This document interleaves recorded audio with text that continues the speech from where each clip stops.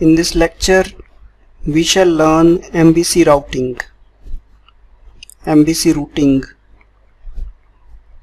So we are continuing our previous exercise where we learned that the URL has a number of parts.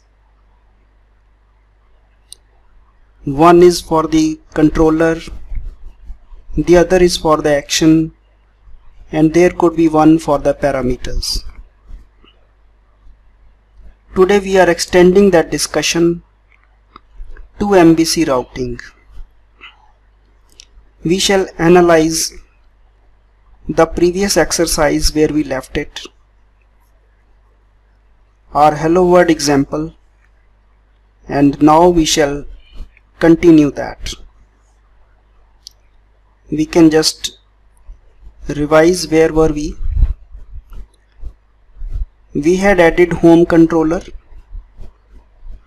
and it has a method called index. This is the action method. And uh, then we saw global.ax ACX file. And uh, we were worrying about route config. The details of this are in this class. Let us see that class now.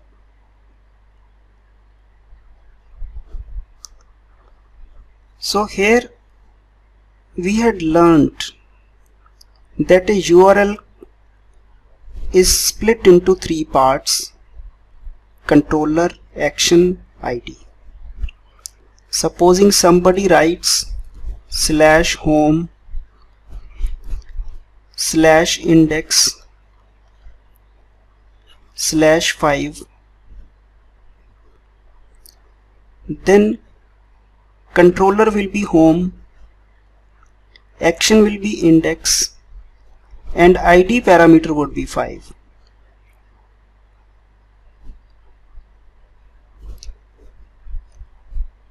if somebody wrote slash blog slash year slash 2012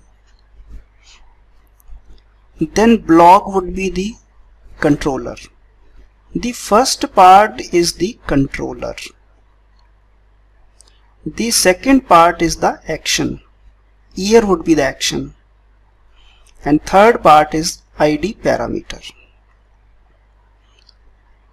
Now let us begin to analyze this.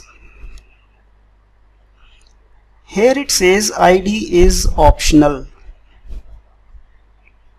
Optional means if it is not there then still the call will pass to this which is a function that doesn't take any parameter. Had we, uh, let me close this, had we written it like this, id, had we been silent on id, like this. If I remove id and try to run it now, it will give error because id is no longer optional. It has to be passed. And if you are running it like this then you get like this. Then you are getting this error because id had to be passed. Home is defaulted index is defaulted but id is neither defaulted nor made optional. So that is why this is giving error.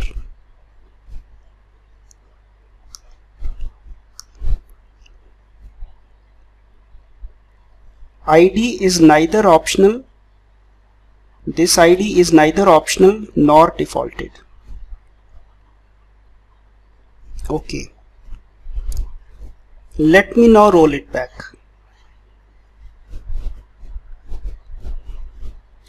I write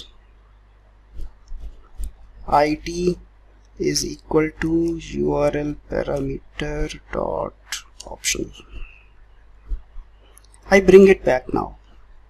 And I am coming to the home controller. Here I am writing string id and let me write it plus id I have made this change now.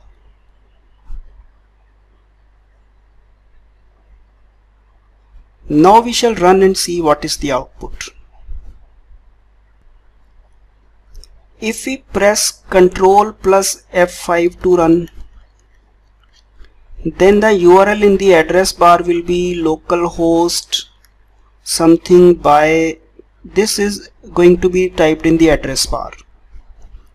This means home by index.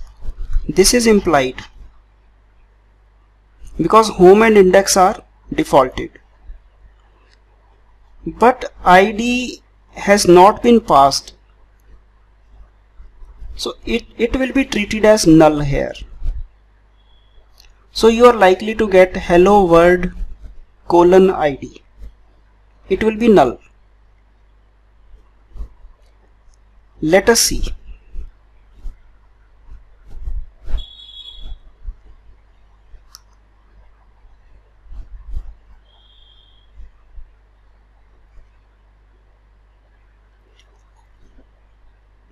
So you can verify that id is null. It is null because id no default was given. Default value of string is null. It has been picked up. No default parameter was specified. It was optional.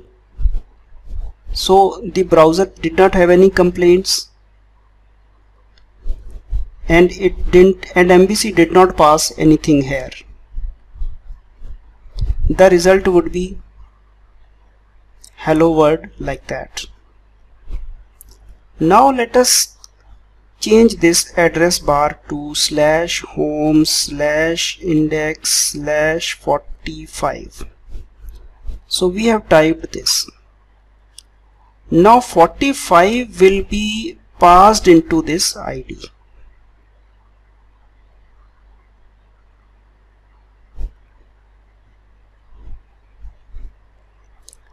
this 45 this becomes the controller. This becomes the action. And this is the ID and as a result you see hello world 45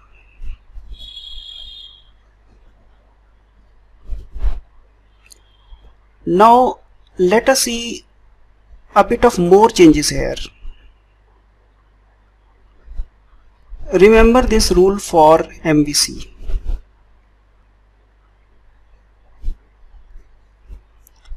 MVC is very strict about parameter names. What is the name of this parameter? It is id it tries to match this id with the route config file. See this id is matched with this this because if I change the name of the parameter to id new and write id new then id new will never get the value of 45 even if I type it there. Run it. So let me type here home by index by 45 it will never get.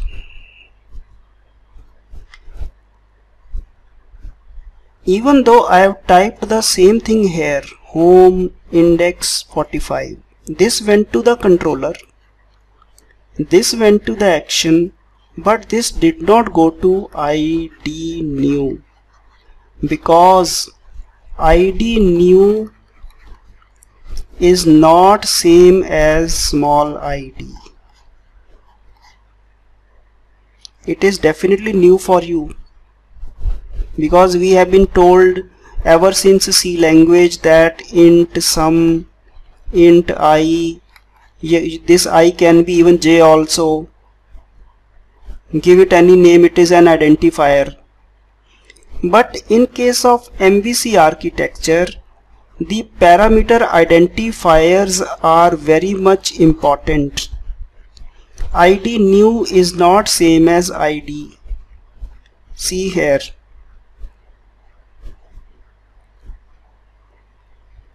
We changed it to id new and things went wrong. Bring it back. Change it to id now things will become okay. Let me write here. By home by index by 45 and it starts working correctly So you should be very careful about these names.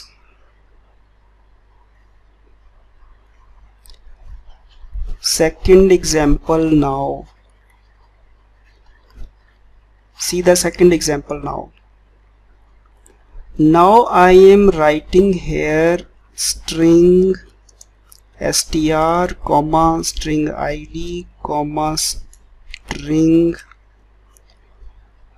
uh, str new. And here I am writing hello world. I am writing str plus hello world plus abc plus str new now you will expect a very strange thing this one says that id is the name of the parameter. If I come here and if I type in the address bar slash home slash index slash 25 this is no doubt controller. This is no doubt action. 25 is id 25 will be passed here. I have deliberately put it inside. MVC automatically searches it. If it finds it passes the value. If it doesn't find it doesn't pass it ignores str it ignores str new null null but it finds mysteriously it finds this ID and passes 25 there. So in this case the output would be hello world 25 ABC. Have a look again. This is ID. It will find this ID inside the list of parameters. This is ID this was id run it and see.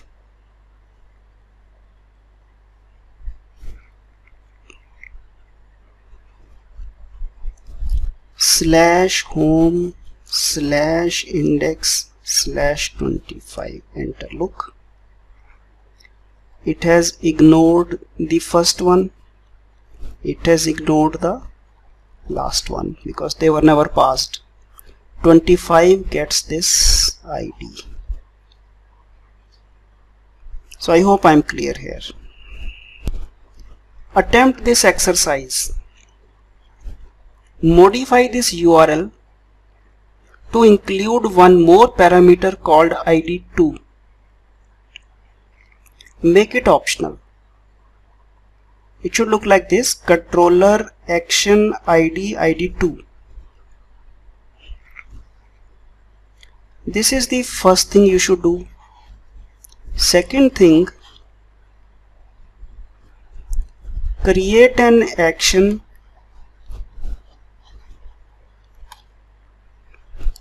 Index 2 and pass string id string id 2 string s and it should have three arguments string id string id 2 string s. This is s is a parameter name. Try to print some message here with these and pass various combinations of these id and id2 let us see whether you can do it. So we'll stop today's lecture right now. Thanks